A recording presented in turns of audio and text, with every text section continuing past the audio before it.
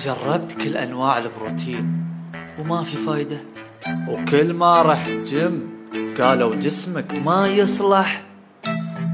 تعال عندنا وبنضبطك. كفاية عذاب. حاولت تصير مثلهم وما قدرت. أبشرك معانا تقدر. جم الشنبات. خلك شنب.